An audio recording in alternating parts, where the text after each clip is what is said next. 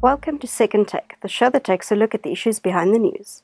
The National Treasury is starting to engage with municipalities on a scheme that could enable them to write off the Eskom debt. Terence Creamer joins me to discuss this initiative.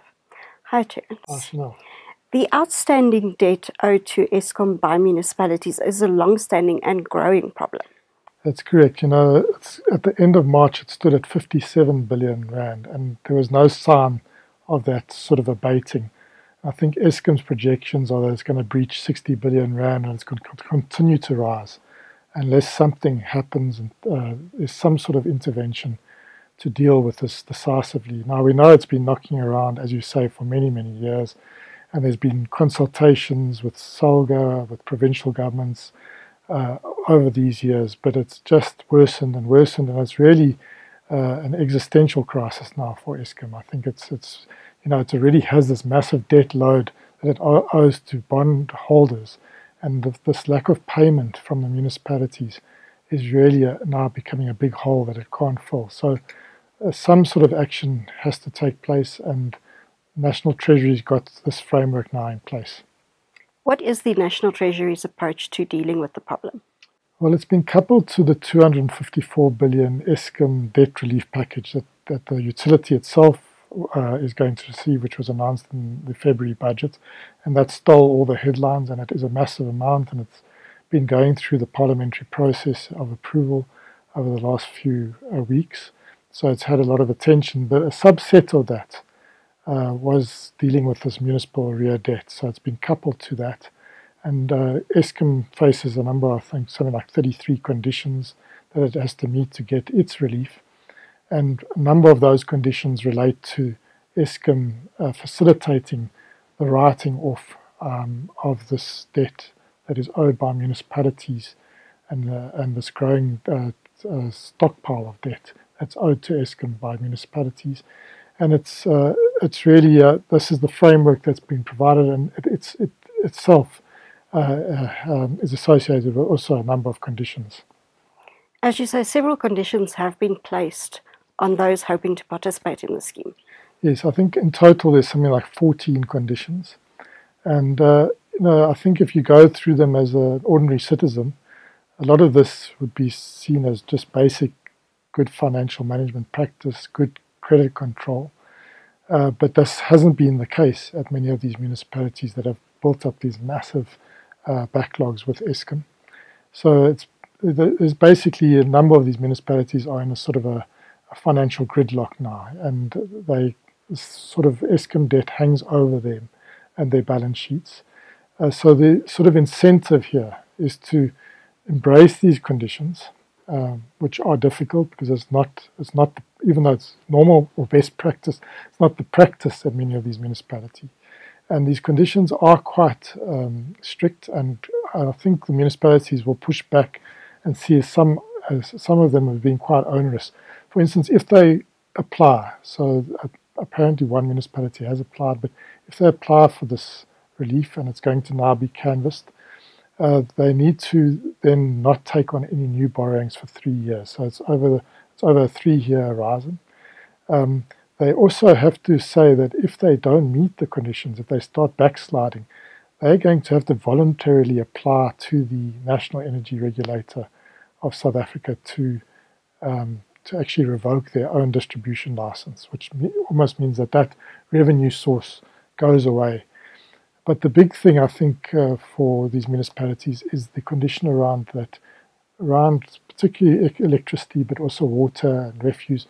There has to be a culture of collection, and a number of these municipalities, isn't a culture of collection, and the collection rates being put in uh, to the conditions is a minimum of 80% collection rate and rising to a sort of 95% level by the end of the three year period. And all 14 of these conditions, and there's, there's a, a number, as I said, there's a number of others, they have to show that their budgets are funded, they have to show that uh, they, they are going to be tough on, on the sort of residents that aren't paying and actually disconnect those residents. That's that whole collection thing. And if they can't meet that, they, they're not going to get the relief. But if they are able to do it consecutive for 12 months, one third of what they're owing to Eskom will be written off immediately at the end of that financial year. And obviously, it will be a third, third, third over the 36 month period. But these are, as I say, from the outside, this is what municipalities should be doing. This is just good normal practice. But this isn't what they've been doing. So it's going to be a major culture change. But unless there's a major culture change around payment and collection by, by municipalities, this debt spiral that they are in is, is just not uh, going to ease. Do you think this will work? I think that's the big, well, it's the 60 billion rand question because I think it's probably at that level already. Uh, you know, something has to give. Uh, there has to be some sort of resolution. And in many ways, this is a way out for these municipalities. So they, they've got they've got themselves in this massive hole. As Treasury says, it's a financial gridlock that they're in.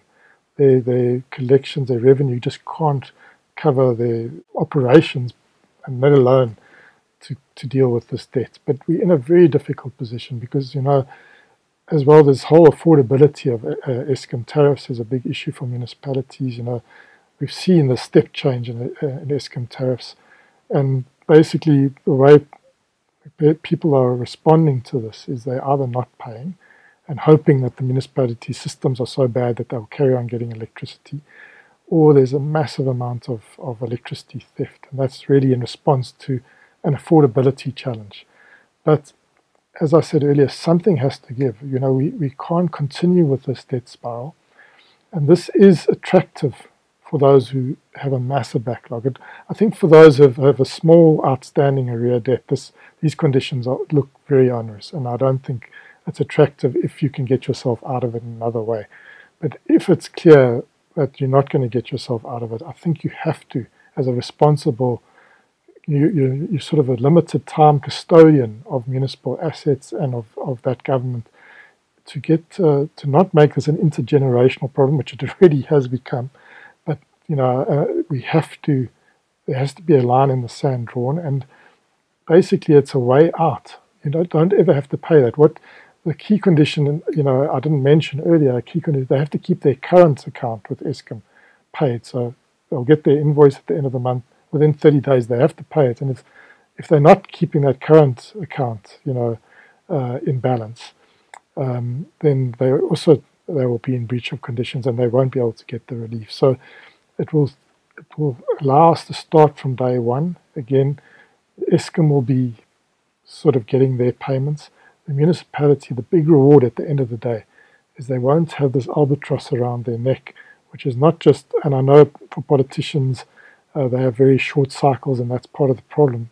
But from a administration perspective and a longevity of these councils, they really have to get this off their books so that they can really start doing proper service delivery with our, and raising debt, good debt, to do good things. You know, and at the moment, they just there's, there's just no way they can get out of it without this relief.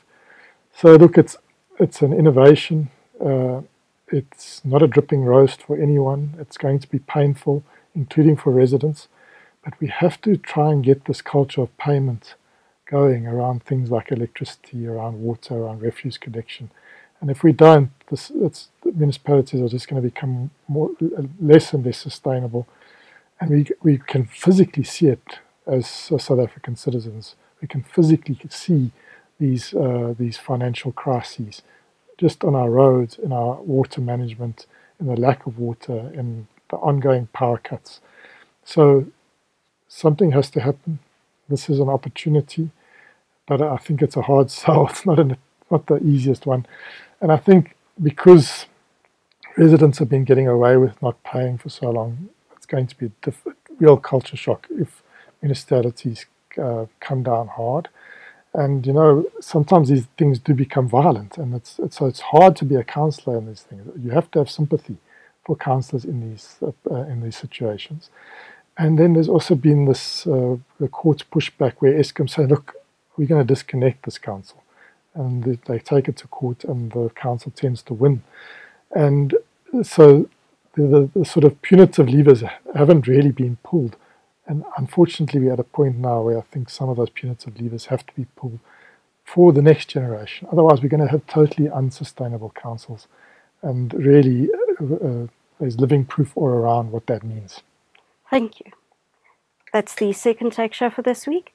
Thank you for watching and join us again next time for more news analysis. Also, don't forget to listen to the audio version of our Engineering News Daily email newsletter.